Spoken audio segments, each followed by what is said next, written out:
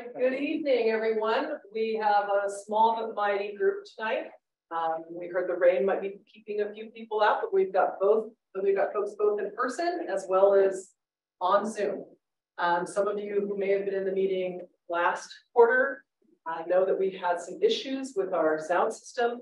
We've since worked on that and we think that we have it down. So we've got a team here taking a look at it. So if you um, have any issues, go ahead and put that in the chat. Um, speakers, when we speak tonight, we're going to ask you all to come up here to the stage. The four microphones here will pick that up, and that way the folks on Zoom can see who's talking.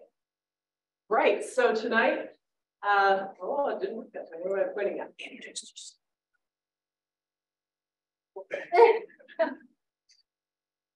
I already have my first glitch.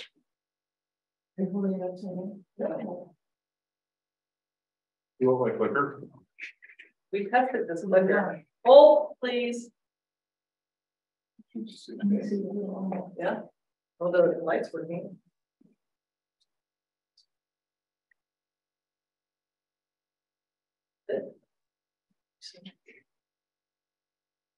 No, Working Back- back to me. We'll check it out and putting it in again. Good try. Nope. That's all right. You just um forward can you? All right, so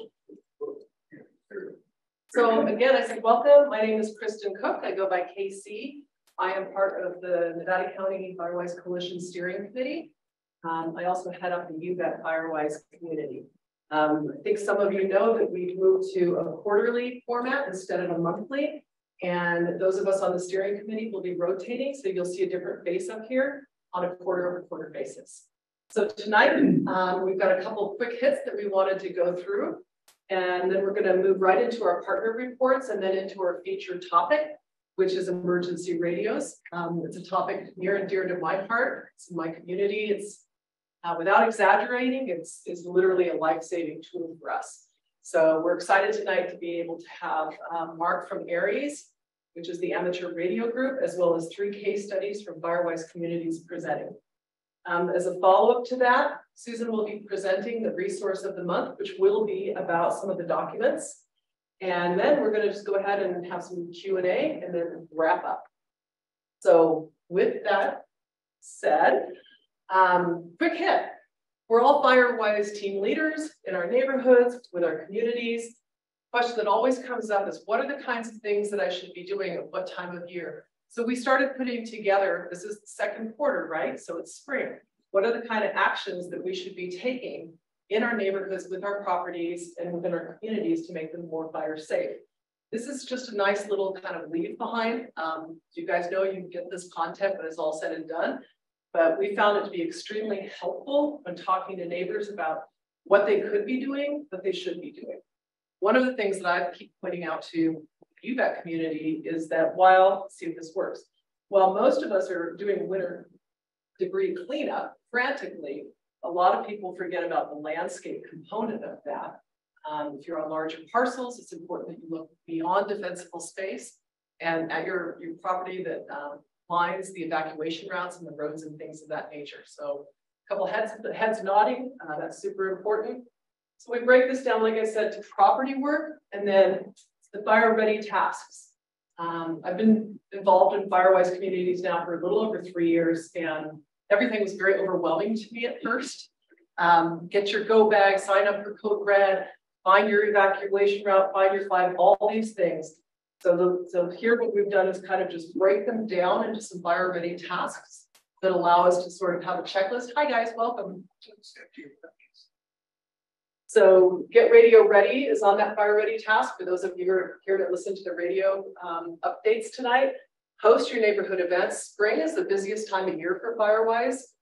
Um, double check all your notifications. Sometimes those things expire, so you do need to encourage your neighbors to sign up again for Code Red or Watch Duty app or the, the tools of your choice. And last but not least, we all know we need to update our go bags. I know that most of us procrastinate and it takes the first fire before we pull them out and realize my granola bars are outdated, that I don't took my water out, I used my headlamp in the middle of the night chasing my dog. So it's important to make sure that we do go through those, even if we've had them a few years before. So that's it for the quick hit. Um, who, oh, I forgot. Next slide, please. Was working, is not. Um, who wants to go first? Jim, Fire Safe Council, put on up here. Yeah. And Alex, you'll follow Jim.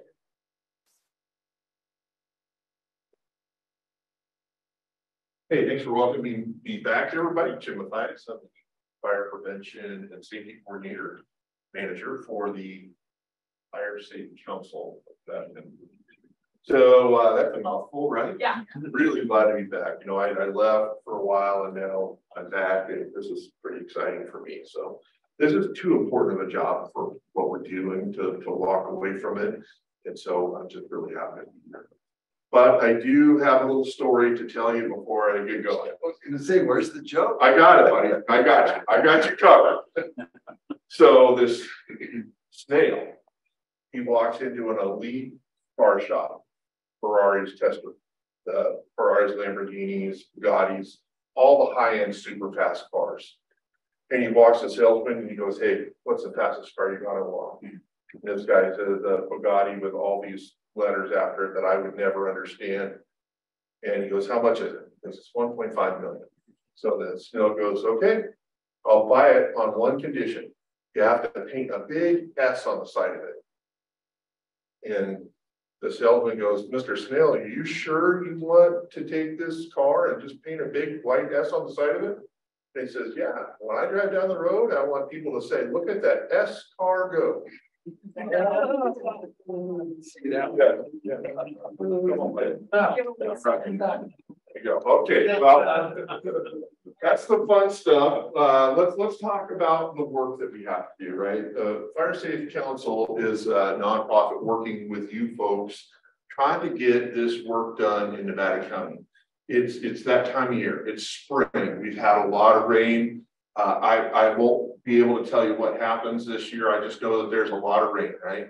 And that means that a lot of stuff is growing. So we're here to provide whatever assistance that we can.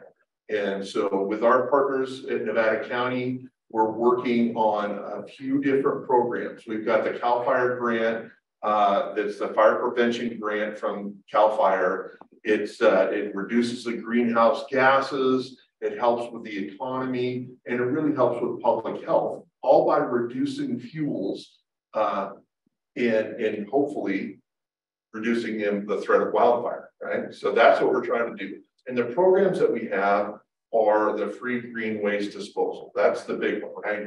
It's going on. I left flyers out there because I'm not going to recite all the dates. They're all listed here. Uh, half of the stack on the back of it has it in Spanish. If you know of anybody in your communities that would be more comfortable reading Spanish, we have those flyers in the back as well. So you can get rid of that green waste by bringing it there. Now, here's a little problem we're having. We're having a big, big problem with people just coming by and leave it in front of the gate. Just, it, it's free waste, folks. We do it on Sundays and Mondays. We'll help you unload it. Please talk to your folks around. It's illegal to dump that stuff there. It really makes it hard for us because when we go to open it, now we have to move the pile before we can get in there and do the work. So it, it's just, I mean, it's just not a good way to be a good human being. So it's illegal and it's, uh, it's not cool. So there's that. What we do with that stuff. Some of it is going to be made available for you for, and, and all the regulations for how big it can be and what you can bring. They're all in the flyer. They're all there, uh, and also on our website too. Mulch and chip delivery is also happening. So if you want free mulch, you can contact us and we can help you work that out because we're trying to get rid of that stuff too. And we want people to, if you can utilize it, utilize it. So that program, the flyers are also back there for that. We're a nonprofit, so we work off of memberships as one of our fundraisers. There's two different membership levels, the $99 and the 249. Those flyers are back there. Please support us as much as you can. Um, and then some other things that we got going on is we're working on a couple of big projects in Nevada County. The South County Fuel Break kind of runs between Lake of the Pines and Alta Sierra. That's well underway. We're having really good success. It's a roadside, we're clearing each side of a few roads in, in uh, southern Nevada County, creating a fuel break and escape routes and things like that. It's well underway, it's looking really good. It's a bunch of property owners that are participating and they're gonna maintain it for years to come. So good things happening there. Uh, we're also working on, uh, some reducing some fuels above, above Highway twenty with the, the Forest Health Grant. Uh, up Highway twenty towards Washington, towards North San Juan, that whole corridor up there. So another large grant and stuff that we're working on. Last thing that I'm just gonna mention before I turn it over to my partner Pat is that uh, we're working on, wow, a CWPP, the interim CWPP. That the county is working on the long-term, really deep dive CWPP. We're working with them on an interim one that we can put out there because that's how we get more grant funding. Anybody in Nevada County that wants to do grant funding, they need some kind of direction for the CWPP. So we're hoping to fire one out. a little quicker. CWPP, Oh, yeah, don't give the jargon, right? Community Wildfire Protection Plan. So it's a plan for where all the hazards are, how we can mitigate them and cooperate with each other and use the, the environment and think about the environment when we're reducing those fuels. So all good stuff. Sorry about the jargon. And I'll turn it over to my partner, Pat. I'll be here all night if you have any questions. Thank you, Jim. Pat, Hi, you, you, everybody. okay, good to go. Hi, everybody. It's, it's really great to see so many Firewise community uh, leaders on tonight. I've been missing some of you. It's been so busy. But I want you to know that we now have 90 Firewise communities in Nevada County. Um, we've just recently, this year, added Wampum Level over off of Oak Tree, West Hacienda, near uh, and Magnolia, Black Ledge at Pleasant Valley Road, John Bourne at Pleasant Valley Road, and Sunnyvale Lane at Allison Ranch. So our map is filling out with a lot of pink, but we always seem to have another two dozen that are working towards it. Thank you, everybody, for doing such a great job with this. But we have something fun coming up, and that's the Firewise Together fundraiser. This is the first time we're trying to do a fundraiser in this method, and uh, I do hope that we see at least a couple of people from most of our Firewise communities. It will be Saturday, June 3rd at Lake Wildwoods Commodore Park. And that's a nice big area, so we can see a couple of thousand people there. Don't think it will be too crowded. We're going to have games with prizes from 1 to 4:30 and then we'll have between 5 and 9 there will be happy hour, a silent and live auction, live band and a fabulous barbecue dinner. And then we'll end the evening with Firewise community recognitions and grants. Now, everybody's been asking me, how do you apply for the grant? You apply for the grant by buying a ticket or donating something to the auction. Um, so all the information is on our website, areyoufiresafe.com. That's where you can purchase tickets too. So let's come on out. We're going to have some special guests that night too. And um, I just want to celebrate with all of you. Let's just have some fun time and then take a little funds back to our Firewise communities to do all the work that we like to do. And that's my report tonight. Thank you. Thank, thank you, Pat, and uh, our little clicker thing's not working very well. I do have a slide coming up that shows the Firewise flyer, but I think you've all been hearing pretty much about it, so we'll, we'll underscore that.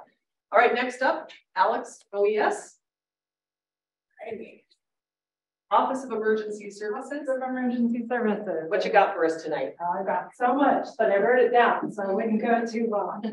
Um, and for those of you who haven't signed a media release, um, I'll try to drop them on my way out, but we are capturing some video footage this evening to create a short film that really celebrates community-based land stewardship, Firewise communities, to kind of inspire folks who aren't already participating in this way to participate. And it'll run as a trailer at Sierra Cinemas over the summer and really just try and inspire people to take action. So that's what the filming's about and that's what the media releases are about.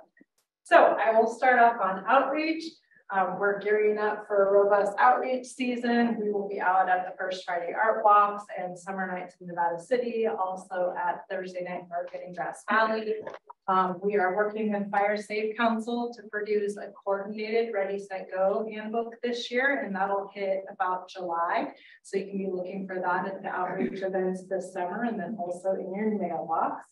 Um, for those of you who are not aware, this Saturday is the 18th annual Health, Safety, and Wildfire Preparedness Carnival. It's taking place at the Rood Center from 11 to 4. If you haven't been, or if you have young people in your life, or hey, I mean, I got a kick out of seeing the helicopter land last year. It's a really great event. It's free. There's a ton of resources. encourage you to come out to that. Um, if you're looking for something to do on Monday evening, May 8th at 7 p.m. in Nevada City, there's a screening of the film Elemental, and that is going to be followed by a panel of some local wildfire mitigation experts. There's going to be uh, Pat from Fire Safe Council will be there, folks from Yuba Bear Burn Cooperative, a representative of the Colfax Todd's Valley Agricultural Foundation, talking about the use of fire on the land, it's my privilege to be able to moderate that panel. It'll be a great opportunity to learn more about some projects happening in Nevada County. So if you're looking for a fun Monday night thing. Um, and finally, on the outreach realm, I urge you to attend the May 23rd Board of Supervisors meeting. We will actually be having a proclamation celebrating the Firewise Together event that Pat Leach spoke of. We also have several other key items on the docket for OES, and we'll be giving presentations, including planning. So I'll move on to planning. Um, we are excited that we've identified the consultants for three different planning efforts that we've secured grant funding for. One is the Community Wildfire Protection Plan update.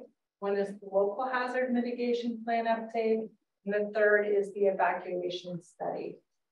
So at that May 23rd meeting, We'll be giving a presentation about what are these plans, why are we doing them, how it is strategic to be doing all three of them at the same time. So that'll be an opportunity to learn more about that. Um, as Jim mentioned, Fire Safe Council is doing an interim CWPP. Ours is a bit more robust of an effort. We've completed the wildfire hazard assessment, which is a component of the local hazard mitigation plan and also the CWPP. But after the May 23rd board meeting, you can look toward a community survey that will be rolling out.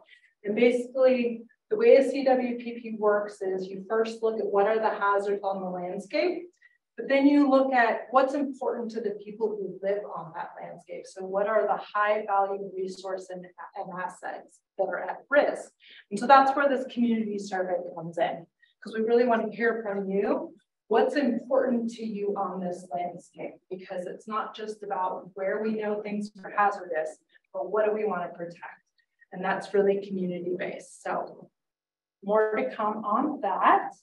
In terms of program, we are really excited that we've hired our lead defensible space inspector. His name is Ricky. He came out of code compliance in Nevada County. He was also an integral member of the EOC, the Emergency Operations Center. So he's well vested in emergency operations. We have also been interviewing temporary defensible space inspectors and shout out to Pat, who has really been really supportive of the DSI team um, since Roger Tucker has left us and we've had a bit of a void there. So thank you, Pat, for all that you do. Finally, grants. uh, so we've got a lot of grants right now. We've actually got 14 grants representing $11 million of investment in wildfire mitigation in Nevada County. Um, we just wrapped up phase one of the Access and Functional Needs Program, which was in partnership with Fire Safe Council.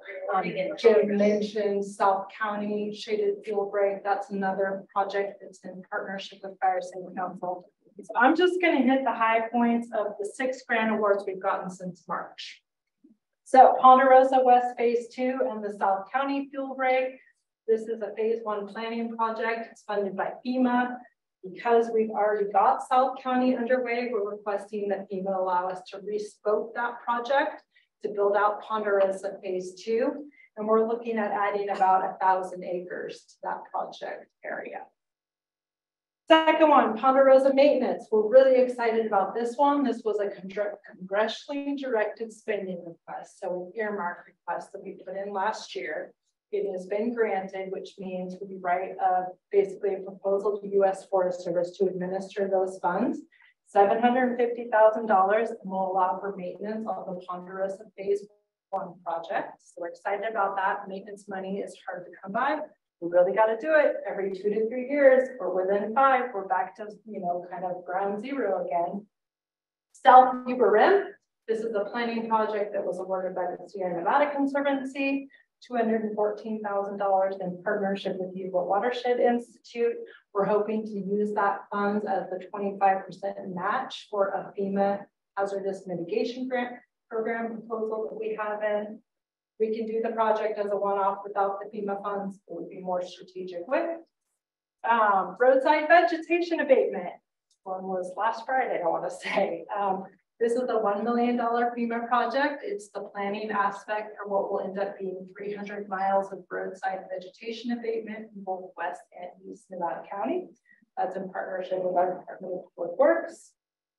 We got a community wildfire defense grant for $250,000. We're pairing that with $90,000 from the California Fire Safe Council grant. That is going to pay for our CWPP update, which everyone keeps telling me I need to come up with a better word than the full enchilada. it's, it's the roadmap to resilience, but our CWPP is not just going to be a document, it's going to be a land management plan that will provide this sort of toolbox of locally vetted best practices for doing wildfire mitigation work on different landscapes, different topography, different vegetation assemblages. And then we're going to have an interactive project dashboard where you can literally go on there and say, I'm interested in wildfire mitigation that addresses a watershed need and maybe a sensitive species, and here's where I live, and you'll be able to turn layers on and off and see where that sweet spot is to design the project that you're hoping to achieve. So we're really excited about the CWPP funding. And finally, yesterday, we learned that CAL FIRE funded our winter storm hazardous vegetation cleanup grant for $950,000. This will allow for roadside cleanup of storm debris on about 100 miles of county maintained roads it's got almost an equal amount of funding, $310,000 to directly support private roadway cleanup um, for those private roads that were especially badly impacted. And it will add funds to bolster green waste that Fire Safe Council is leading both east and west Nevada County. Woo! Yeah, that's a lot of work excited about it. They're not possible without partnership with them. So wow, Alex, that's insane. So what, what, what, before I call you up, Patrick, one thing I just want to put a little bow on. I think um, those of us who've been around for a while have really seen both the Fire Safe Council and the Office of Emergency Services um, start to add a lot more staff and start to collaborate real strongly with all the entities across the county. That's one of the key things that I think is going to help those of us who, you know, on the ground residents, right, is that they are working together better, even though they've always had great relationships toward the bigger picture, which is how do we get more money driven into the county to do more projects. So, you know, a lot of times I listen to these things and I never, I never hear my community mentioned once, but at the same time, rising tide floats all boats. And this is an overtime proposition. You know, we've gotten ourselves in the hole, not to anyone's fault here. And it's going to take years to get out of it. And as Alex said, to maintain it. So thanks to all the big efforts on that. Patrick, if you want to come up and give us a couple brief updates. Yeah.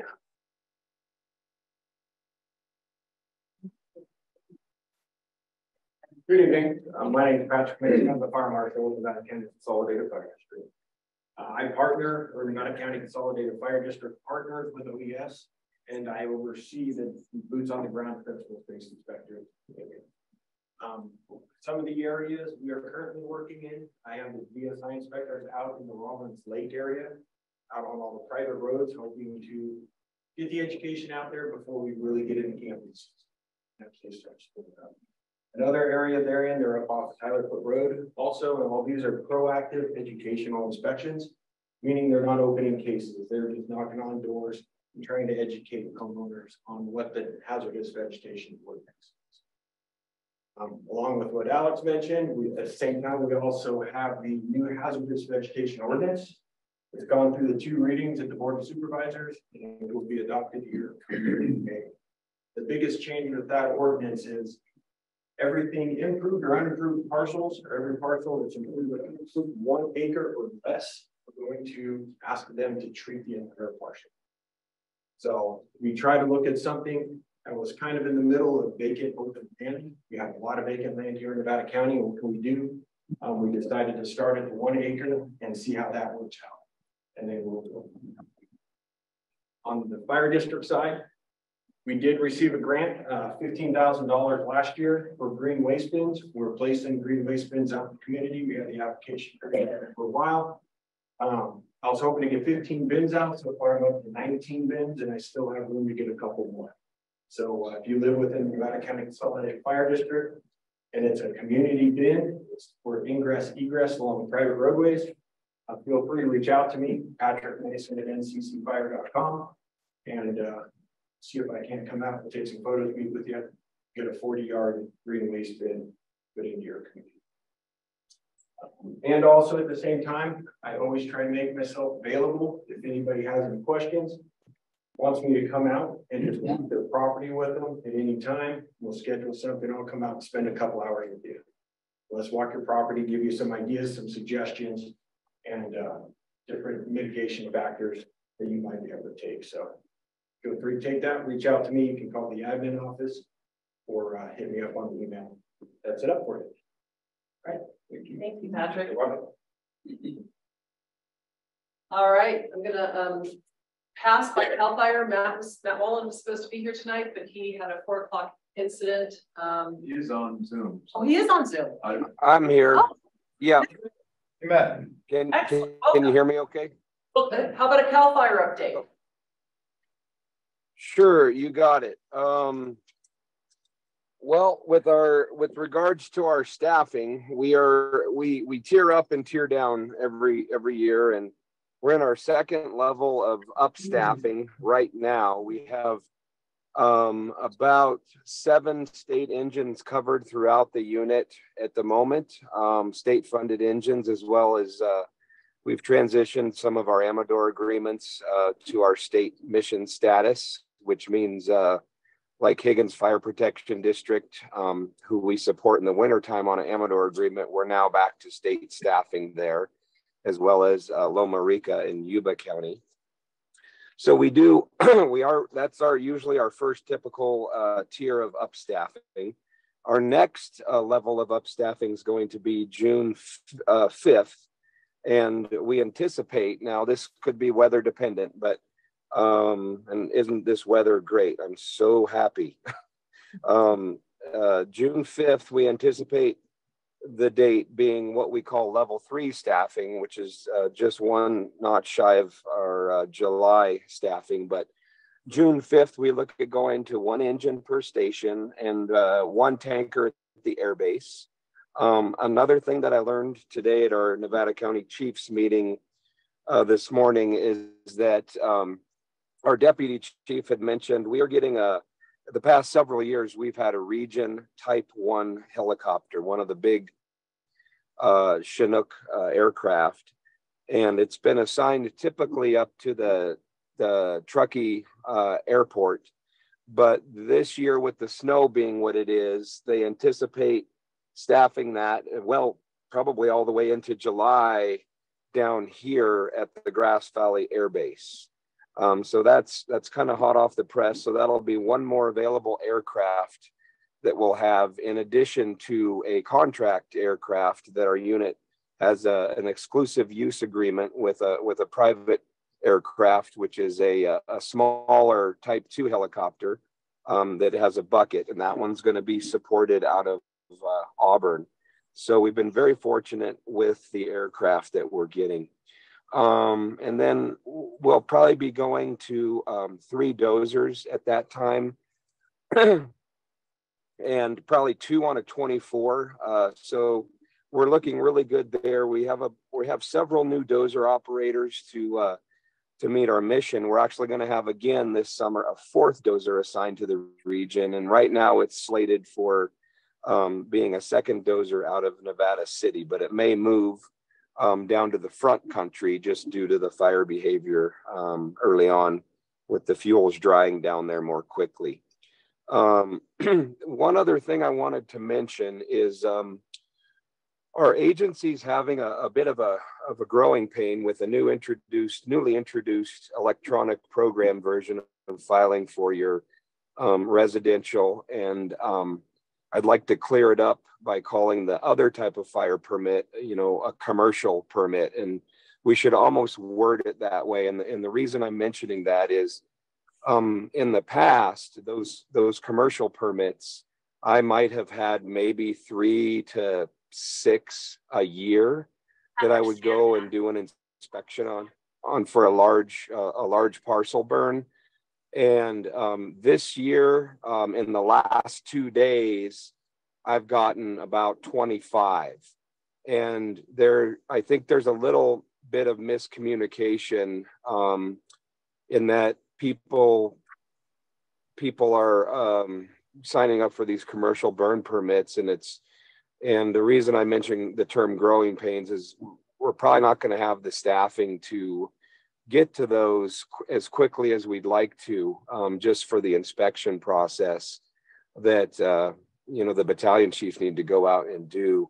And so I'm I'm I'm frustrated because I always want to keep the public happy and and you know have our department be on always viewed as top notch and and um, we're trying to do the best we can to uh, meet this new permitting process so um, if any of you personally or know of anybody applying for for these larger burn scale um, the LE5 or LE7 um, it's we're off to a, a, little bit of a delayed start in getting those approved but we're going to work through them as quickly as we can but quite honestly, I don't think we anticipated the surge of those um, that have come through the electronic um, application process. So uh, I know in our upper our upper management is uh, becoming aware, and we're trying to figure out what our next move's going to be to uh, basically get as many people to do to do the burning they need to do for fire clearance. Um, so uh, again, I would call it a growing pain, and anything new is always a little bit difficult to get going. But but we'll get through it. We'll be fine. Um, I just hope people don't get too frustrated in the process. So if you, I guess, bottom line, the reason I wanted to mention it. Yes, because Matt, can you clarify? What's it? Can you clarify sort of like the everyday household? We want a burn permit. We're no longer an open burning. We want to apply for a burn permit what is it that you want us to look at online? What's what's the, the right thing that we should be signing up for? Most people will be signing up for what's called the LE62 or the residential permit. It's what folks used to come into the fire station to get, and they okay. were good for up to two years. Um, that's really the message I would like to have passed on um, where it gets a little sketchy is is people are going, well, I have three piles that are like eight feet in diameter, and I just want to tell them, well, that's close enough, but I can't because it's you know it's it's not meeting the written verbiage of how things are, and we haven't changed that yet, and I don't know that there is a plan to change it, but I mean that that's kind of the delay, and it's it's kind of frustrating. So most people should need to apply for what's called the residential dooryard burn permit process. And uh, it doesn't require an inspection. You watch a three to four minute video. It educates uh, you on this on the hazards and the assumed liability of burning, and then you uh, you get to go on your way and you'll get a permit. Unfortunately, there's been a few glitches there too. Uh, I had heard one got was issued until May 1st of this year and then it was no longer good. And so, um, and really, May 1st is the time that we require them. May 1st, all the way up to July 1st, if we are able to extend the burn window that long. And that's again weather dependent. But um, yeah, that's what most people are going to need. I mean, if you have, you know, realistically one to three acres or or less than that, that's you could you could feasibly do what you need to uh, with time and um, you know arranging your piles so that they're isolated and not going to spread anywhere. Um, so I, I don't want to bend folks' ear too much tonight on that, but I just kind of wanted to close up with um, with that process and just um, hopefully there will be some patience for those that do need a larger burn. I'm talking like 20 to 30 foot diameter piles, or they want to do a uh, a broadcast burn on their property and just uh, cordon off the whole area and light it on fire, which most people don't have enough guts to do, including me sometimes. But um, you know, uh, those are the commercial, and I wish we'd almost use that term because I think it would steer people in the more correct direction. But those are the commercial applications for treating with fire. So, um, but you know, most of us, most of us listening tonight are probably going to want that LE 62, and that'll get you on your way burning tomorrow versus having to wait, you know, up to two weeks for us to come out and be able to um, to visually inspect and go over the process with you. Um, and yeah, and all the other duties we have such as escape control burns and car accidents and house fires and everything else. So, um, yeah, we're pretty busy, but uh, that's uh, that's all I have for the Cal Fire update uh, for tonight. Um, and uh, I'll be around for any questions at the end. Thank you, Matt. Um, appreciate that, and, and, good news for those of us in Western County with the uh, big Chinook being here till July. Always a nice to have our air attack base fully staffed. Um, anybody here part of reports that I've missed online? Think we're think we're we're good. All right, can you do a slide forward for me? So Pat Leach had mentioned the fundraiser for the Firewise communities. Um, this is what she's referring to.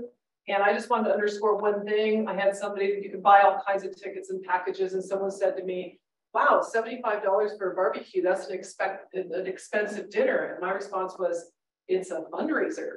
And the money is going back to Firewise communities. So you see it in your hearts, you're able to attend, great. If not, hopefully you can encourage some neighbors. Um, my key thing I'm talking to my neighbors about is the more folks from You Bet who sign up, the more chances we get in the raffle for prizes.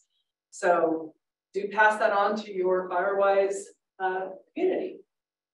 Oh, it worked. Hold on, let me, let me try it. Yeah, it's back up. We're, we're in business. All right, so now we're here for our feature topic. Um, before we kick off, I just want to kind of lay it out for y'all because it, we have four presenters tonight. So the idea here is that the emergency radios that Mark from ARES and his team launched last year, um, there's been some success. So he's going to update us on how many Firewise communities in Nevada County have embrace this program um, and a little bit about that. And then we have three presenters who will be talking about what their Firewise community did, how they did it, and their key learnings from it. So we'll be building on that story. So the idea is at the end of this, um, if you're considering launching a program like this, you don't know if it's for you or for your, your friends or neighborhoods, um, this should give you a lot of insight and information to make those decisions and also will provide you with a lot of ideas and tools on how to go about it. Without further ado, Mr. Mark Triolo, take it away. Thank you, Keith.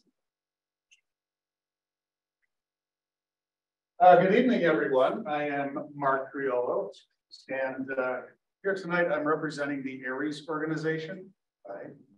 Um, which stands for Amateur Radio Emergency Services. We are a volunteer organization that is uh, in existence to provide emergency backup communica- communication for county agencies like the Red Cross and like you know, OES in Nevada County.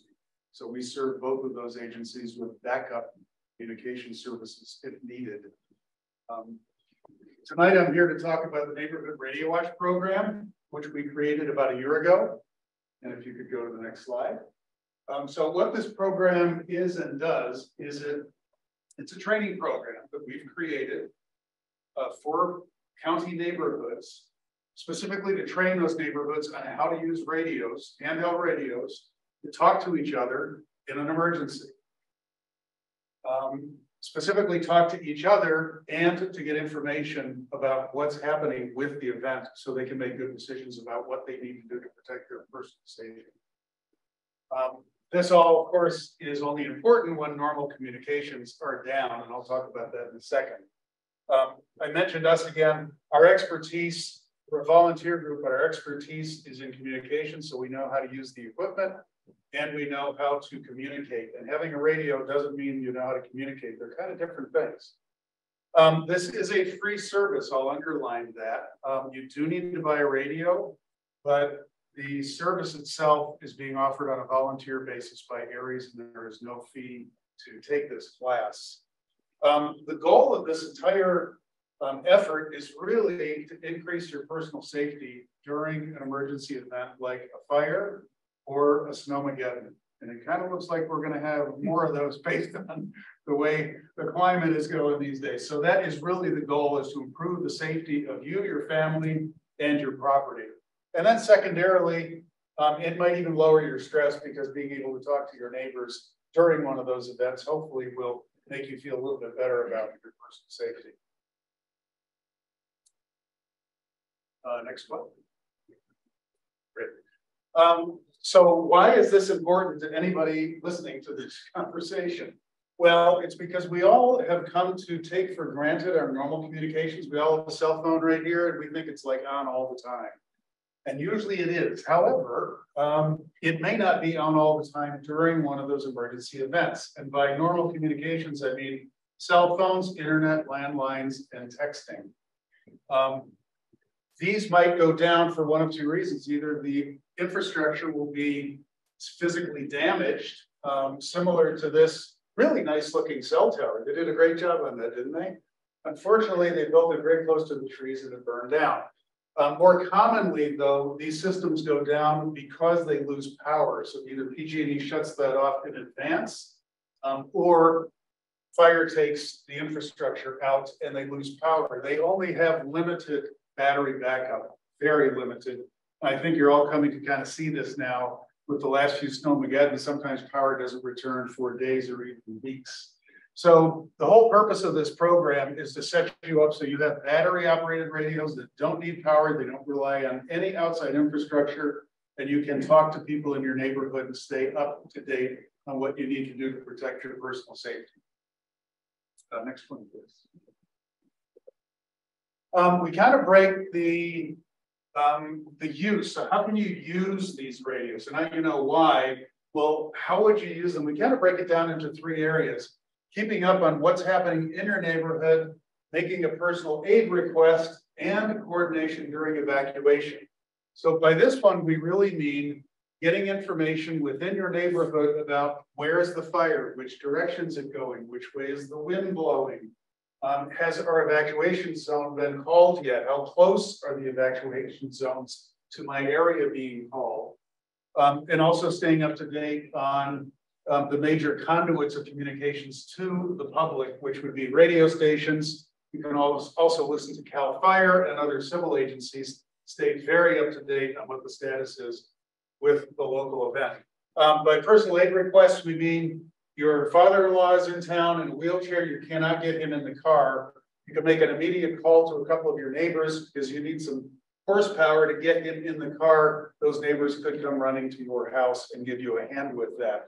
And then lastly, since it's battery operated, you can take it in the car and check on local road conditions on your way out of town. So it pretty much breaks down into these three major categories in terms of how you would use this equipment to help yourself.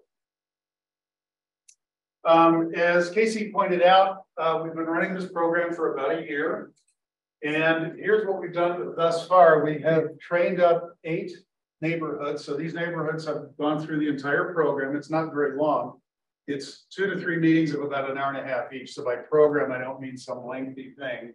Um, all eight of these neighborhoods have been trained up, um, totaling about 120 people. So we basically have 120 people that now have equipment and know what to do with it. And it represents these eight. Um, you're going to hear from three of these in just a moment about their personal experience, some of the things they've learned about implementing this. And lastly, Thank you. You're just too quick. Yeah, I just glanced and it was there. Um, so if you're interested in pursuing more information about this, um, best way to do that is to probably contact me and I can work with you very quickly on the phone and determine if it's a good fit for you. Um, and you can contact me at this email address. Um, secondarily, you can go to our ARES website, which is Nevada County ARES, A-R-E-S dot O-R-G. And there is a section in there called Neighborhood Radio Watch. It does have this address in it. And it's got an outline of all of the things I've covered here tonight and that you will be hearing from the other three presenters. So you go to nevadacountyARES.org and or give me a call. We can pretty quickly narrow down whether this is a good fit for you. And if so, how would we proceed? And that website is now linked from the coalition website, and I'll be demonstrating that at the end of the meeting. Thank you very much. Thank you, Mark. All right, up next, Lorraine.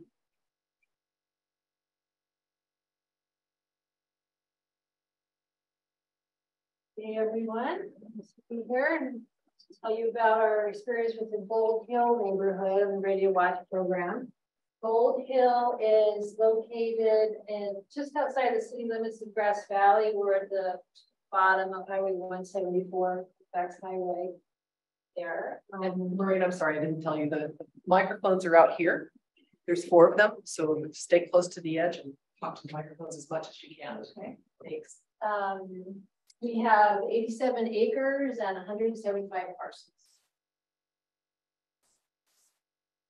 So the Empire Mine State Historic Park surrounds much of our neighborhood. You'll see we've also got the Bennett Meadows on one edge and then some private forest on the other. So we're fairly surrounded by forest and meadow. Um, so this is just sort of how it went for us. Our neighborhood started having our first Firewise discussions last July. Oh, my colors are all different work out so well. Um, I, that was right around the time when I learned about the ARES program and I became very interested in that and contacted Mark right away um, in August. And I made a flyer and went door to door in my whole neighborhood, um, put one on every doorstep and we had a good response. Uh, so we had our very first meeting with Mark um, in September. Uh, and then in uh, October, we had our first Firewise community meeting. So our radio group and our Firewise effort are sort of getting started on parallel tracks. We aren't actually an official Firewise community yet, close.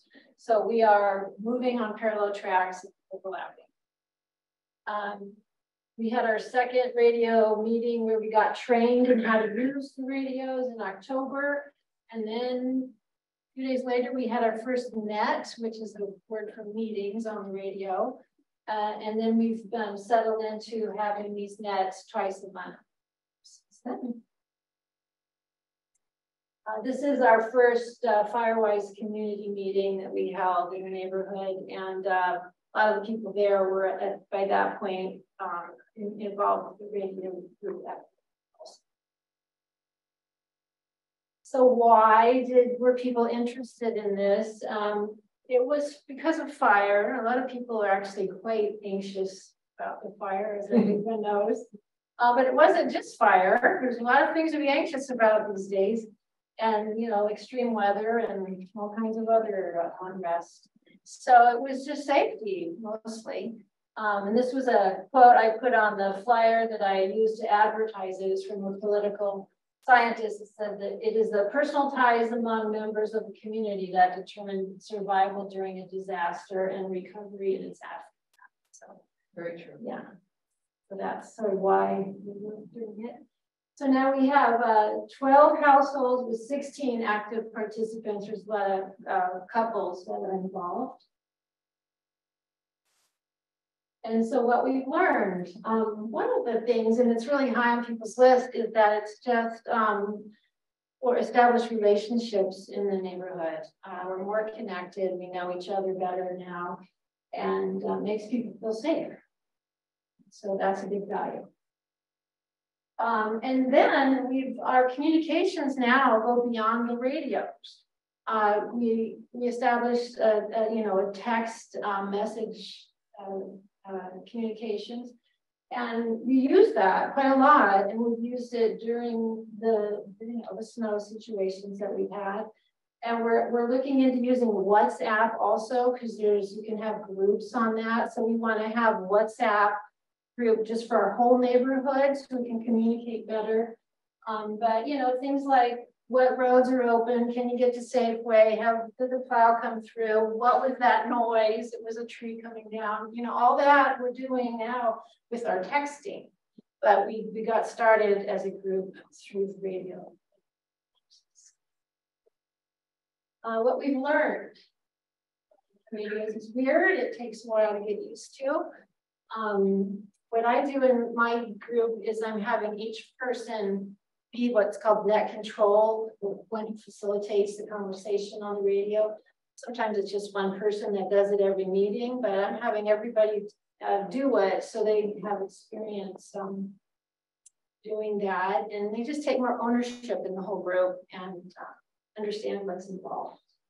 Um, I thought two times a month meeting might be too much for people, but you know, there's a lot of us older people that aren't so, we didn't, were born with the electronics in our DNA and how to work it. So people want to get uh, experience using the equipment regularly. Um, it was really helpful for me to visit Casey at her You Bet. I rode home and sit in on a net because the jargon is different, how you talk on the video, what people say, just to get comfortable with how it all works. And uh, you can also listen in on the um, nets held by ARES and the ham radio groups, just to hear how it goes on the net. Um, we also have a ham radio operator in our neighborhood, and they're a member of ARES. And ARES has somebody at the Emergency Control Center. So our ham radio operator in our neighborhood has direct access to the OES center. So that gives us another great line of communication. Other than that, all we have is banner repeater. So that gives us a really great line of communication. So having a ham radio operating groups good thing. Uh, things that are you still want to do. Um, we still haven't worked out a good way, or plan to communicate with everybody else in the neighborhood during an emergency. Like, how are we going to get the word out and what the plan is for evacuation and things like that. Um, we're still young and have things to develop. Um, I think we need to have some practices with staged emergencies because learning how to talk on the radio is much different than learning how to respond in an emergency. So uh, hoping we'll get some practice with that. And then I'd like to, I know we have a lot of folks in our in our neighborhood that are retired emergency response folks, um, retired military, and I want to just plug them into our group so that we can access their skills um, uh, and then recommendation, I'm hoping for more cross-fertilization with the different radio groups. We can learn a lot from each other. And then I just wanted to say, I've kind of geeked out on some handouts for my group. Um, so I learn better by reading and, you know, sometimes you need to refer to it quick to remember what this button is for on the radio or whatever. So I've got a lot of um, simple handouts that I'm happy to share with you other so started. And Lorraine, those are on the website now, all four of your handouts, and I'll be showing that in oh, the resource of the month. Yeah. That's great. Thank you. Thank you, Lorraine. Um, if anybody has questions, just hold them till the end. We'll be doing all things radio after all four presentations. So Kerry, you're up next and I'm curious about Air Jordan. Where did Yeah. that come from? Thanks. Yeah, uh, that's just a teaser. Hi, I'm Kerry Rose. I'm, uh, with the Deer Creek, uh, Southside Firewise community. And, uh, we, a while back, saw a presentation by Mark, uh, during one of these meetings right now about ARES and, um, uh, so we got, I got excited about that and I'll tell you why in a second. So I'm just gonna give you a quick overview, just, I'll talk about myself briefly, just for some context. What our community's like, why we wanted the radios, what our current status is, in very similar format to what you just saw in what worked and what didn't, and, and some suggestions for other groups that might be interested. Who am I? Uh, my background is in audio and music and technology, so I like things with knobs and dials and lights, and cables, and all that kind of stuff. So I just had a, and I used to have walkie talkies as a kid, so I was, I just like that kind of stuff. I work my current day job, working real estate, uh, and uh, part of my job too is just understanding just the lay of the land, what's going on in the community. I've acted before in previous communities I've lived in. Um, we had uh, out in West Marin, we had our first responders, uh, liaisons, and we actually had the fire department radios. We were meant to basically be boots on the ground for people because it's a very similar situation. Um, and in fact, the fire department there was volunteer, and so we all had to kind of to step up. Uh, and so I just kind of got my my my father-in-law's an Emeryville firefighter for 20 years, and so part of it is just just being interested in caring about this stuff. Currently a committee member uh, in Deer Creek Southside Firewise, and then I'm now a self-appointed Air Jordan manager, and I'll tell you what Air Jordan is in a second besides a basketball shoe.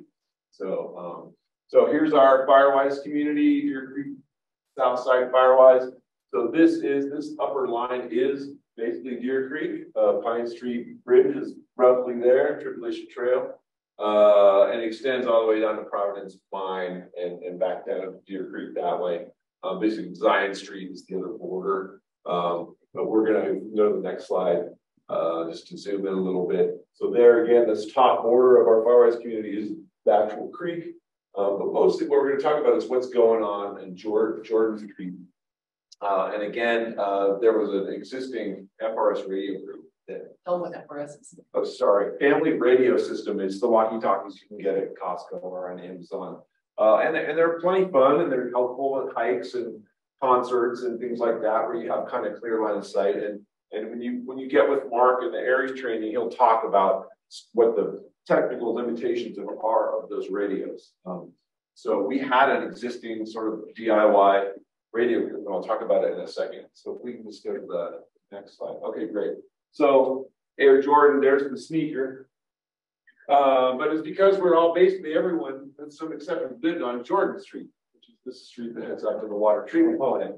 So basically, they this this is a, a group that self-started a while back using these, let's just say, very available, um, but it's also somewhat limited um, walkie-talkies that you can get. But they they had started this group uh, even before I, I moved into the neighborhood. We had about these little. This was the best thing I could come up with there was about 16 households that had were in the group and we had contact information very similar to what Lorraine just described, you know, ways of getting a hold of each other, whether it's knocking on a door or or calling, texting, and or using the radios. Um, but just to be clear, that's fine. Uh, you know, so Air Jordan lives within the Deer Creek, right, Firewise community, and it's in some ways it's it's separate. And I think there was a, a thing within our Firewise community this is a separate initiative that, as you well know, the neighbors of give a darn are the neighbors of give a darn. So mostly it's all the same people, but it was a, a separate, a separate initiative, just to be clear, uh, for organization purposes. So why do we want them? Well, people understood the need already, right? That was that was clear. Uh, and we had a little bit of a network in place. People already talking to each other, and I think based upon also what we learned with ARES, that's really important. Actually, you have relationships with these people you can already talk to them. They know who you are. You actually care about each other, or at least care about what's happening in the neighborhood. Um, but one of the meetings that I saw in Mark's presentation, and I think they gave some case studies out in the town of Washington and some stuff, and it became really clear that we were also going to be limited. And, and that wasn't just from case studies, but also personal personal experience. That's the next bullet is, you know, stuff broke and it didn't work. And you couldn't even text or call, or you couldn't get on Get Ready Nevada County. I mean, you couldn't do much. And so unless you wanted to, you know, uh, vote with your feet and walk out and knock on someone's door, it was really hard to, to talk to other people, know what was going on. Um, and we learned also through the ARES presentation what the shortcomings of the family FRS, family radio systems were. Um, and then so I think there was just a general desire for better tools and getting access to first responders, to OES, and a wider network of people. And we've done some tests, and we can actually talk to people kind of far away, which is kind of cool. Um, and also, one thing that motivated this and, and got me to sort of volunteer myself was that the person who founded Air Jordan actually moved away out of the neighborhood, so there was just a void. And the guy who got handed to whatever that that job was not very happy about it. And so I think I just felt like, well, you know, not me, who's going to do it? So I just raised my hand and took it over. Um, so the current program status, and I, I call us a, a pod because again, like the, the ARES group is distinct from the Firewise community. It operates within it, but it's a separate group of people that have decided that they wanted to do this, they wanted to put in the effort, they wanted, and they want to be available. Part of it's that. You're going to show up when stuff gets ugly. So um, we did the training. Um, we had two actual activations, right? And I'm sure you know what those most likely were, but certainly the snow weather events and uh, uh, some fire stuff. We also tested what I call passing the torch for succession, which I'm really big into, is that we're, no one's in charge. It's very flat, right? And so, because if I'm out of town or I don't feel so hot or whatever, everything to, to Lorraine's point too, it's like we all got to be able to, to step up when needed. So how to pass the torch, who's going to be the net controller, kind of the hub of the wheel, who's going to be the, the, the person to contact other folks. So um, we've had some good tests, but there's more to be done. So I have a, these are my action items. This was good for me. So thank you, Casey, because it reminded me of some to-dos. I have stuff to do. We have stuff to do with the community, which is kind of formalize the roster, just to keep communications going. Uh, we need to do some more tests, some more drills. Um, we need to integrate some of these households that decided not to upgrade. That's my little upgrade arrow. That's just your typical walkie-talkie you can get pretty much anywhere. This is the GMRS. That's the uh, general mobile radio system, right? So just a more powerful radio. Operates on similar frequencies, but it, it works better and goes farther. So um, we need to do some tests to integrate the people with the cheaper radios into our group. Uh, I want to do that. And then defining some, some protocols for supplemental actions. Great. We, we talked about it, but now what, right? Somebody needs help with their car, or someone needs to get an ambulance, or someone just doesn't needs information. So we got to practice what you do after you use the radio, get the information. It's now time to take action. So we need to practice that a little bit. And a couple other things, doing welfare checks on people who may not be have any kind of radio. Um, and also, this is a thing we learned too particularly with the snow situation, was, um, you know, we're boots on the ground. We can see that tree limb hanging on the power line. We know what's going to happen in the next three days if we're getting another double weather. So to be proactive and go out and walk the neighborhood, we did that a couple of times. Didn't help much calling PD, but, but we tried. Um, and then other scenarios, I want to do some tests too, where um, we try, you know, reaching OES or again, just some technical. So that's the current program. So I call us the Air Jordan ARES Boosted Radio Group now. So hope you like that, Mark. I just did a little upgrade on your logo. Um, so now we have of the 16 or so people, we now have people with both FRS and GMRS radios, and we actually we uh, we Shanghaied someone from the Greater Champion Mine Group. So we've got someone across the creek and up the hill, and we can get a hold of him too, and he can talk to us. So I like the idea of other ARES groups starting to work together, sharing best practices, sharing things that don't work that well. I think that's a really great idea. Maybe it's a Facebook group or something, a way we can all talk to each other, um, even if we want to do it on the radio. What's next? So what worked great was ARES offered us great service, great information. Um, that worked. Um, getting purchase recommendations. Just here's the radios you should buy, and I highly recommend just get the more expensive one. It's a little more full feature, full featured. And it was great for training purposes because then no one's left out. No one's like, well, my radio doesn't do that, you know, or whatever. So that's just my personal opinion about that. Um, the trainings and the tests we did were, it's actually kind of fun. Uh, and then they actually came in handy, gave us confidence. Uh, and that was definitely proven during our latest snow event. Um, we got, uh, uh, we got a chance to use them and we got a chance to pass the torch. So this is, this is the picture I think that sums up what this could be like for you if you care to take it on, but it's well worth it. It's important to me. So uh, it was from like herding cats. And, and part of it too is to respect that ARES is a volunteer program, right? They're not getting paid to do this. So we need to respect their process and to interface with that when you got to every, you know, all the neighbors have their own idea about what it is or what it should be. And it's just like, hey guys, this is the program. You're, are you on or off the bus? Really? So, um, and just making it clear, being a liaison in my case was helping to steer what the ARES pitch was or the ARES, ARES offering was to people who needed to understand what's the benefit, right? Because that's the first question. Answer why should I spend the time? Well, here's why. It could save your life, or it could save a friend's life, or you could just help the community. So I think that's important. And related to that is understand the process also. I think that's really important to convey to your to your neighbors what's going to happen, how's this going to work. Um, and, and, yeah, there's some steps we got to follow, but we'll get to a, a good outcome. So um, I think we, we could have done a little better about, well, now? We did the training, got the radios, we, we tested them, we practiced them, but now what? So I like to, to, to work on that a little bit and some guidance. And the last bullet, I really say, I'm thinking of ways that to make a training actually fun, practice fun. We could do radio treasure hunts, or we could do whatever ways to actually just get get the radios in people's hands to use them so they're comfortable and confident when when you actually. So that's do I, have, do I have one more slide? I can't remember. Yep. Uh, yeah. Um, so yeah, I think it's related to what I just said is just understand what's out there. And I think start at the website, even just get educate yourself about what's the program before you even reach out to Mark. I think he does a great job.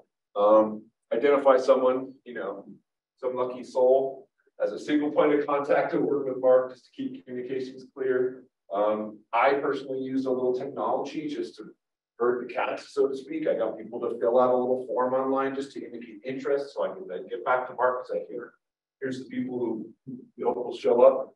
Um, you can use Google Forms or Jot form. And then the last one really is be patient because you know community organizing just takes a little bit of patience uh, and to be flexible because we had to accommodate, you know, it was like herding cats. You know, they had lots of people to integrate. So that um, I think is that it. One more slide. There you go. Thanks very much. And if anybody wants to talk to me about it more, I'm happy to be available. So thank you, Kerry. Yeah, Kerry. Okay, guys, one more to go, and it's yours truly. Um, very, very, very different scenario. So both Lorraine and Kerry, kind of Nevada City, near Grass Valley downtown, Memorial Park areas. Um, You Bet Firewise is You Bet Road. Am I doing this? Will it work? No. I don't know if you did it or I did it. Um, will, will the thingy work? Okay. So similar to the other groups, our boundaries and how we define the Firewise community is for us, it's pretty simple, just turned out to be very large. Where's Alan? Did you take off? Poor guy has had to do so many maps for us. Um, anyone who uses You Bet Road to access their parcel is part of the You Bet Firewise community. Sounds simple. In reality, what that translates to, next slide, please, is that we have um, over 12,000 acres. We have over 700 parcels. Our neighborhoods, the previous map showed the color coding. Those are our neighborhoods as we've broken them down for neighborhood leaders. So we have between 18 and 20 neighborhoods. Um, each of those is the same size their Firewise communities in essence. So we're running multiple complex systems within one Firewise community. Um, neighborhood leaders, we have about 40 to 50 and over 1,200 people in the community itself. When um, I looked at this case study, I thought, you know, our challenges are a little bit different than some of the others. And so I just wanted to call out a couple of things. Lots of communities throughout Nevada County have one way in, one way out roads. Ours is nine miles one way and anchored by Peninsula Campground. So the complexity for those of you who live around Scotts Flat and other areas, summertime, RVs, day trippers with boats, all of our windy road and so forth, right? So that's anchoring, that's the end of our nine mile road. There are no alternate evacuation routes. There's some little offshoots for four wheel drive seasonally, blah, blah, blah. There's no alternate evacuation route. You bet's in. Um, we have residents because of the, the complex and difficult and diverse terrain. We have a lot of residents who do not have landlines and do not have cell coverage, period. Not just when the power goes out, period. So communication has from day one, when I started doing Firewise, I was like, how do you communicate? And people were telling me about the 1990s fire, you know, the, the phone trees. And I always said, how'd that work? They go, oh, it didn't even work back then. So we really have had no communication system. Um, the last piece I do want to call out, two things, is that within the community of You Bet, we have a lot of fire starts. They don't make it to YubaNet. You probably don't know about them. We track them, 15 alone in 2022. What that means is our community, based on our CAL FIRE and our firefighter partners have told us, in our community, we are the first in on every single fire, 100% of the time. There's not one fire the last three years that a You Bet resident has not been first in. So think about what that means in terms of communication and what should we be doing and problems and all these kinds of things. The last piece is with that road nine miles, should I stay or should I go? The fear that all of us have up there is somebody's going to jackknife on the road, somebody is going to panic and break down, go over the side. And if there's a wildfire and there's embers and there's smoke and you can't see it, you don't want to leave and get caught up in that. So that's our challenges. Next slide, please.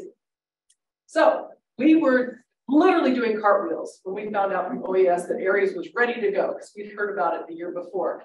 And um, Drew and Mark, Drew Mazer, who's also with ARES, was in You Bet, um, reached out to us and we didn't hesitate. We, we said right away, you have a program, we're in, what is it? Just, you know, silver platter this for us and we're ready to go. So one thing that we have um, really focused on because of the size and complexity of our neighborhoods is that our first objective, our first primary objective was how do we get information, um, whether it's the Greenhorn River, the Bear River, down here to Rollins Lake, and we come in at 174 in You Bet. How do we get information on the fires that are threatening our community? And how do we get make sure that we've got eyes on the fire, regardless if it's coming from Dutch Flat or the river fire coming from Rollins Lake or coming across from lower Colfax. So the idea was we wanted to put radios in the hands of people who could provide information to the rest of us living there as to what that situation is. So we know if we can use the road to evacuate. So that was our number one objective. So me being me, um, kind of looked at this as are you geographically important? We also wanted our Firewise neighborhood leaders to have the radios. And people who are clear, calm, and competent, you guys were saying, it's one thing to chit chat on the radios, it's another thing to do so when some, when, excuse me, but when shit's going down, right? Okay, next slide, please. Um, so this was me out of the gates. We won't spend any time on it because my thought was, oh, with these radios, we can have the core group on a channel and then every you know, neighborhood blocks can have another channel and they can communicate within their own. Fast forward to the next slide, Drew and I go out and did what they call range checks, which basically means two people drive around in their car with the handheld radios and talk to each other to see where, if they can get clear communication. And Kerry mentioned line of sight. These radios are designed to work. I can see you, we can talk, right? If I can't see you, you probably can't.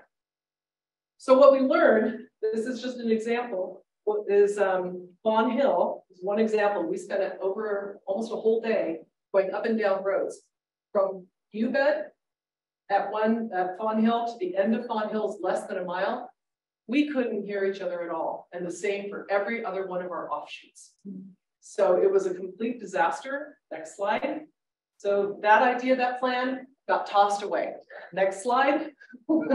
so you guys have heard, um, Kerry mentioned the Banner Mountain repeater.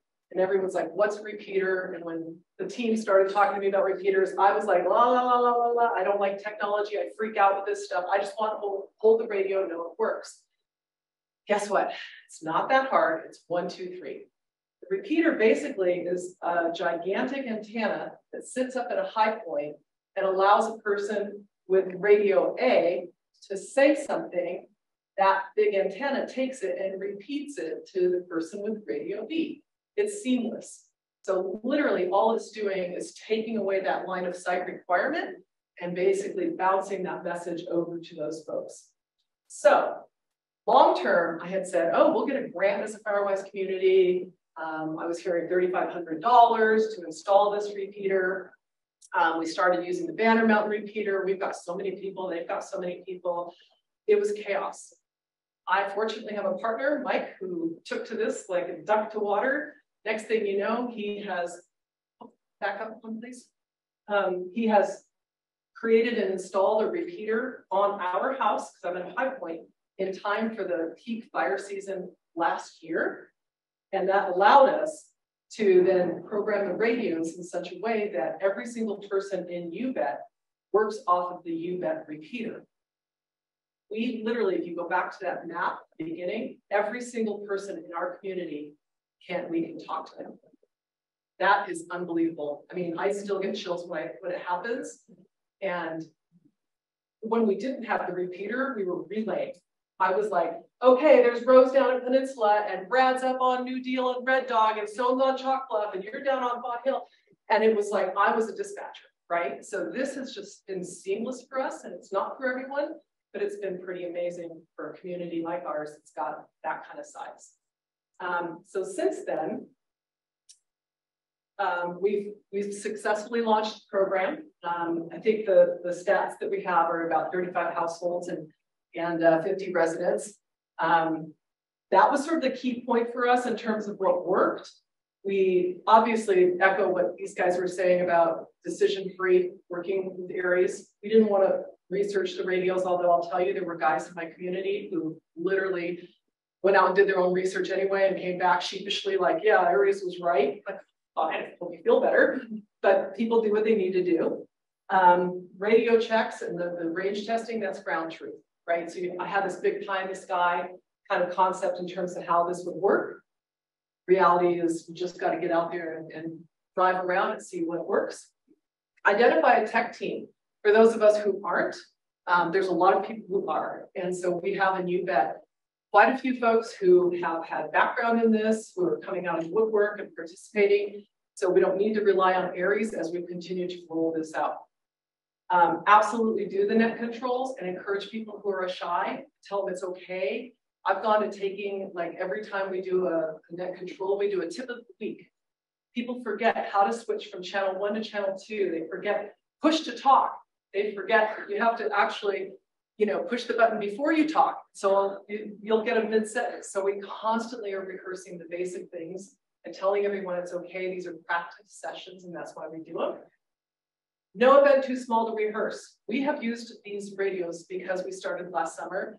Fires, Peninsula Campground fires, the Dutch Flat fire. We've had, I can't tell you how many like trailers blowing up on Wildlife Lane in the middle of the night. We've had so many opportunities to actually put these things into play. Also, somebody's horse has escaped and all the people are on the radios talking about the horse and where is it? I'm checking over here. And people thought it was like a game of treasure hunt, but it was live and it's a horse. Um, so that's fun. Have, so here's the thing, have a plan, but then be flexible. Um, too much control is too much and, and that's on me. Let it grow organically. Uh, Mark was there, I have my plan meeting number one, meeting number two, people start showing up at my house. I don't know who they are. I mean, they're literally just coming to the meeting and I'm like, oh my God. And I realized, let it grow. If folks want to get engaged, they're interested and they have a passion, you're in. so much my little map and who's going to be and stopping at your house and so forth. Um, continue to promote the program. This is something that I think is very effective. So when we had our annual meeting in July, had our Firewise booth, had a lot of other booths. Many of you in this room were there as well. But we actually had a separate booth just for the radios. Mm-hmm. So people who wanted to ask questions could go, and when they signed up for You Bet Firewise, they could check the box that said, "Are you interested?" And that was a trigger for me to do a follow-up and invite them to the radio training. Next slide, please. So brings us up to where are we for 2023? Um, I like to say we rock. We didn't do it alone. Had a lot of support. Um, tonight, tonight's uh, to me an, an awareness opportunity. whether people are here in person or whether we take the videos that Jeff does afterward and share them with our communities. It's a way to use this information to, to share and, and get folks excited about it. For you bet, um, we went we went dormant throughout the winter. People logged on or got on the radios for Snowmageddon and so forth, but we weren't doing weekly nets, the net control where you get on and practice. We're kicking them off this coming Sunday, first Sunday of May. And we do them weekly because of the frequency of the events that happen in our community. Um, and also, you know, I'm absolutely tell people, you don't have to come to every practice. Try to make at least one a month. And that way there, you know, you got your core group of people who are going to be there no matter what, but it gives everyone a system to tap into. The other thing I'll say is when we have an event happen, a fire or something else, um, we go airplanes up, radios on. So we hear the, the planes coming out of Grass Valley Air Attack. And if it's something that's actually there and not threatening us, we do updates on the hour. So when the Dutch Flat Fire was happening, and that's a mile off of Chalk Bluff, which then you know comes into us, every hour on the hour. What do you know? What did you hear? What do you see? And so forth. Um, the neighborhood leaders, we've had our quarterly meeting recently. They've all been tasked with uh, recruiting folks in their neighborhoods for the for the radios. We're we're at 35 households. We need to be double that. We need to be double that before peak fire season. Um, so we have a training scheduled June 10th. You bet folks who are interested in the radios. It's scheduled, it's done. We do them at Peardale Chicago Park Firehouse. I've already got four confirmations and I haven't even published it yet. And then last enhancements like you guys were talking about. So that, that wonderful repeater that Mike Band-Aid put on our house. I was in Mexico when the Snowmageddon and the power outage was there. He was out of power for 12 days and he's like, oh my God, I just realized the radio doesn't work without power. He had to go to a neighbor's house, borrow a generator, hook it up separately so the thing would go. And people were like, why aren't the radios working? So our next step is we're going to get a solar operated something or other. I don't know what that is. That's that tech expert. Um, and then like you guys, we want to do a group text because we found that a lot of people, you know, when they're traveling and so forth, they may not have that information and just a, an event is occurring, radio's on, right? So I, I do agree with personal responsibility, but there's times, places where you got to give people a little nudge to participate. Next slide. Not going to go through these, just letting you know the neighbors are passionate about this. So for my close, what I want to say is that this has truly been um, the best thing I've encountered from a Firewise leader perspective to get neighbors engaged. Everything else we've done has been good. This has been great. So I encourage everyone to think of it from that perspective, you know, and people that live behind their 30 acres up in You Bet, you never see them. We don't get eye contact with neighbors. All of a sudden they're coming out. They're like, I don't want to be, I don't want to, you know, participate in any kind of a club, but boy, they're on that call every Sunday night. so um, lots and lots of positive feedback, including, you know, just say like from Katie and her husband Clayton, the Abbotts, they were one of the first parcels built out in the 1980s. And you've you know, these are long-term residents whom I had never met before. And so there's it's like it's a tool to get the new folks as well as the folks who've been there and think that they don't need help. And I think it's bringing us all together. Um, with that, it's my team's email address in case anyone wants to follow up. And next one. And now we turn it over to Susan, her resource of the month. And she's actually going to be um, showing how you can access the documents that Lorraine put together and so generously shared um, for all of our advice communities to use. Susan, take it away. Okay, so on our website, website of the Coalition of Firewise Communities, we always have the page called for Firewise Community Admins. And on that page, at the top, we have some things about risk assessment and, and uh, for those groups that have to do that, educational resources, then we have the day-to-day -day communication, and then in the red letter, we've got preparing for emergency communication. And a little bit about a buddy system that came uh, a few years ago that can be helpful. But if you want or need a more robust way of keeping residents connected, then we have what we've talked about here today. And when the video goes up, the video of tonight's meeting will be right here. Uh, here are the two previous videos of previous meetings we've had on emergency communications. Um, Kerry referred to one of those. And then uh, here are the links, both here and here, to the website of the ARES Group. And the uh, documents that Lorraine prepared for her group, and they are all in Microsoft format are right here. Digital dual display guide. These will download to your computer. They don't open in a browser. I'll open one of them just to show you.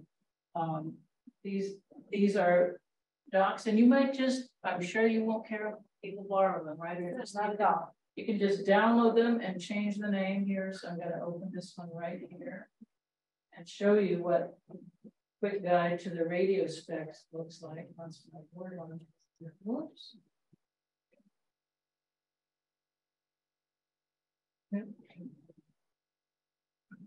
Sorry about that. You download?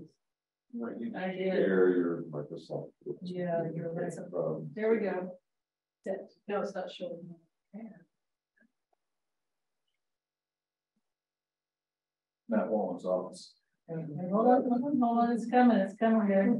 There it is. Spiritual. So here's the document prepared by Lorraine for Gold Hill, and it's a guide to the radio, It tells you what all the different buttons do. This is just wonderful, Lorraine, thank you very much. Yeah, pretty. A little uh, key to all of the buttons and everything. And so you could just get this, if you start this for your own Firewise community, you could just get this for yourself. Change the name right there to your Firewise community, and then it's yours. So that is all on the website of the coalition under four uh, Firewise admins.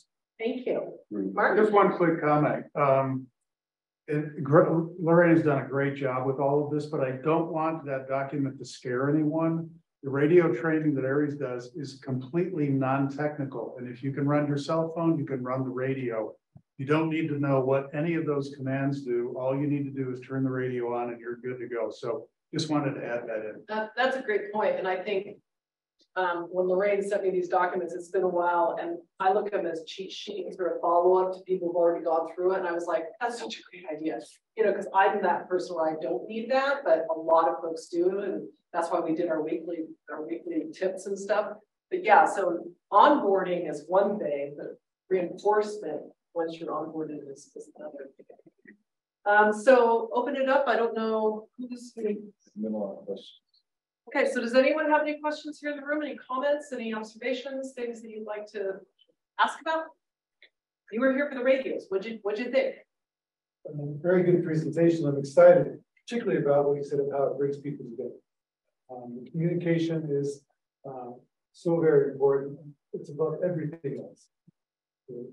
Saving our lives, saving our animals and, and property, and communication is going to be the thing that makes the difference. Yeah. And I'm a believer that this radio is a key component.